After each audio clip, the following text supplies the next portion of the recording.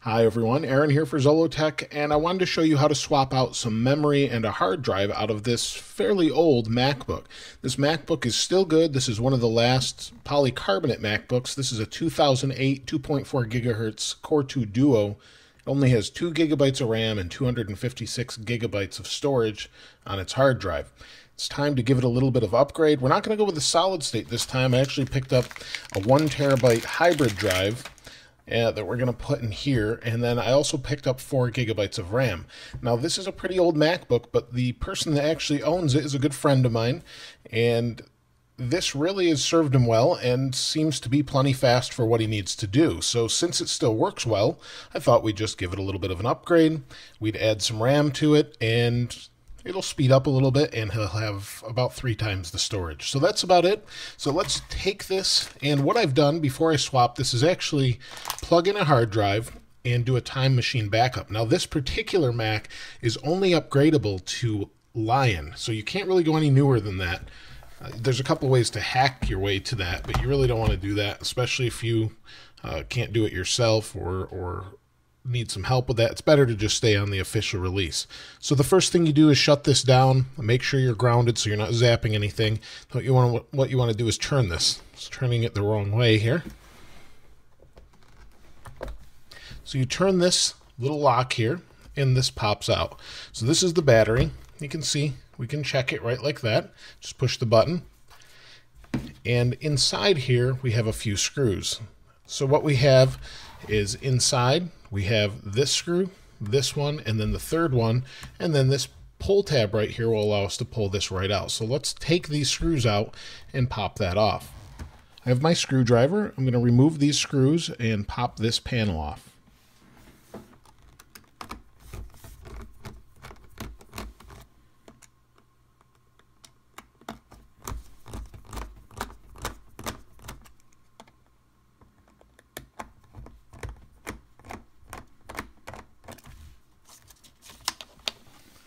And it just pops out like that. The screws don't fall out, they're held in place, and this is all there is. Right here is where the RAM is, these two little levers, and then we have the hard drive over here. So let's pop the hard drive out, and we've just got this little pull tab. We're going to pull, and it pops the hard drive out just like this.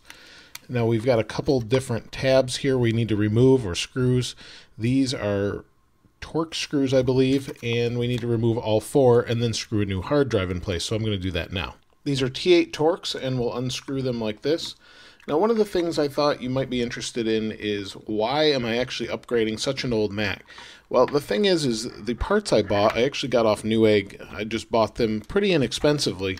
I think the whole thing was about 80 or $90, plus a little bit of shipping, uh, or it might have even been free shipping. I'm not sure. But for that amount of price, it's really inexpensive. You can bump it up to 4 gigs of RAM and three times the storage, so I figured why not. So that was a pretty good deal and not too expensive to do. Now that we've got the screws out, we just pull this apart like this and set the hard drive aside. I'll put it in the wrapper that the previous hard drive came in, an anti-static bag, just for safekeeping. Here's the new hard drive. We'll just place this in like this and then screw this down. Here's the new drive. I'm going to slide it into place and we'll just slide it in carefully and then push it in and it's firm and in place and the pins are all connected. We'll tuck this piece under and then we'll move on to the RAM.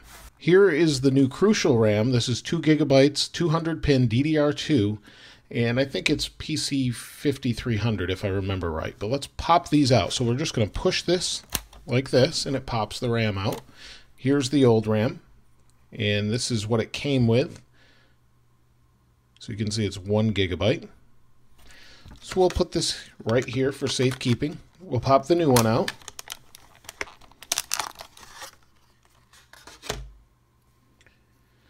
Here's the new one, and we'll slide it into place. Now we need to make sure this is on the right side. I believe it flips this way, and then we'll place it in here like this.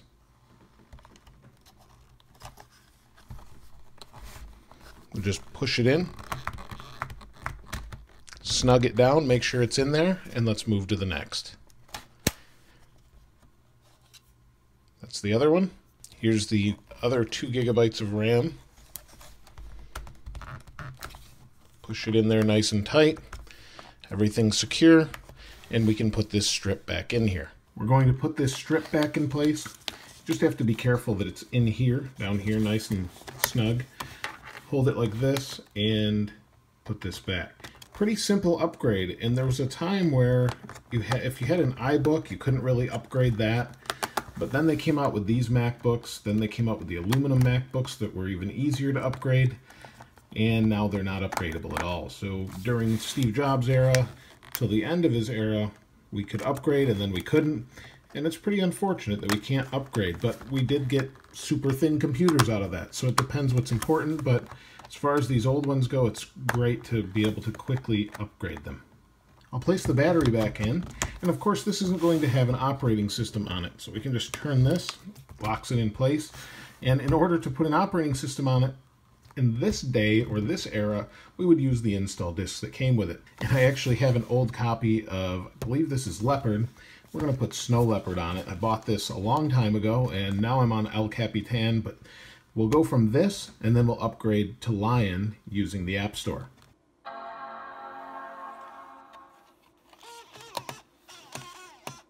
The operating system's been installed, all the backup files were moved using Time Capsule, and we're running Lion.